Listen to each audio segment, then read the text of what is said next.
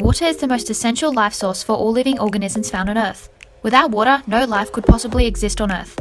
Our planet would be drier than Trump's personality. Water naturally exists in three states.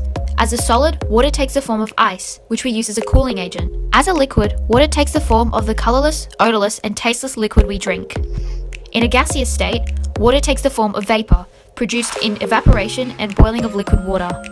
In this week's episode of My Chemical Homework, we will be conducting an experiment with water to investigate the effect of how increasing amounts of salt in water will change the boiling point of it, along with what actually happens when water is boiled, and the effect the results from this experiment have in our contemporary society. H2O molecules attract through hydrogen bonding. Hydrogen bonds are electrostatic attractions of polar groups where a hydrogen atom forms a covalent bond with the electronegative atom, such as oxygen. Although they are weaker than ionic and covalent bonds, hydrogen bonds are one of the strongest intermolecular covalent bonds. Water is an example of a polar covalent bond, where the electrons of the two non-metals, oxygen and hydrogen, are unequally shared.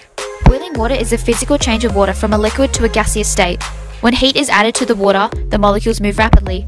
If enough heat is added, the hydrogen bonds of the water molecules break and will spread out to form a gas, which we call water vapor. These are the bubbles we see when water is boiled at 100 degrees Celsius. Salt is an ionic compound of sodium and chlorine. When salt crystals are added to water, the polarity of water means that the oxygen atoms possess a slight negative charge, thus attracting to the positive sodium ions, whereas hydrogen with its slight positive charge attracts the negative chlorine ions.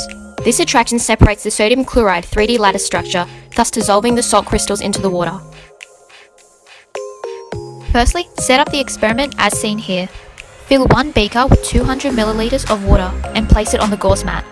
Light the Bunsen burner and position it directly under the beaker. Remember to wear safety goggles whilst the water is boiling to reduce the risk of boiling water splashing and irritating the eye. When bubbles begin to appear, record the temperature in a table and turn off the gas. Whilst the beaker is cooling, fill another beaker with 200 milliliters of water and add 2.5 grams of salt into the beaker, stirring until the solute is completely dissolved. Carefully remove the hot beaker with the heat resistant material and replace it with a beaker of salt solution. Repeat this process for three more beakers, adding 5 grams into the third beaker, 7.5 grams into the fourth beaker, and 10 grams into the last beaker.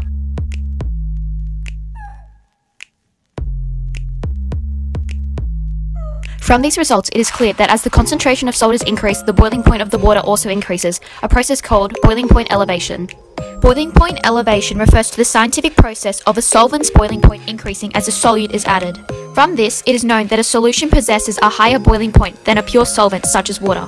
When salt is added to water, the vapor pressure of the salts at which a liquid's evaporation rate is indicated is less than that of the pure solvent. So when the solution is boiled, the temperature needs to be increased in order for the vapor pressure to equal the external pressure of the water's boiling point. Boiling point elevation has a magnitude of effects that are implicated into society. The most prominent uses of this scientific process involve sugar refining and cooking.